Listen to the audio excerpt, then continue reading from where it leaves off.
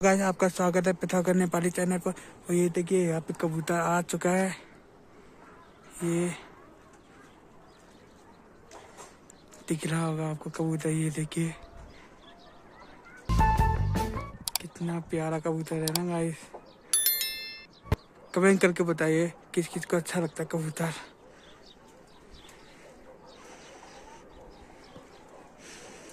और कबूतर को ना गाइस पानी भी देना चाहिए।